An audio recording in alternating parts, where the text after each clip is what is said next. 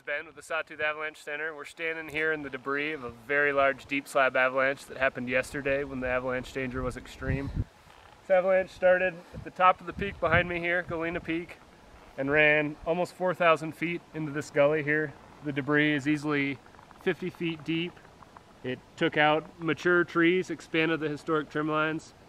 Uh, this is the type of deep slab avalanche that we're worried about when you're when you're reading about that in the forecast. These avalanches break much wider and much deeper than you might expect and can run to areas that are generally thought of as safe areas. And they're breaking on a layer of weak snow near the ground and going to continue to be worried about that for a little while.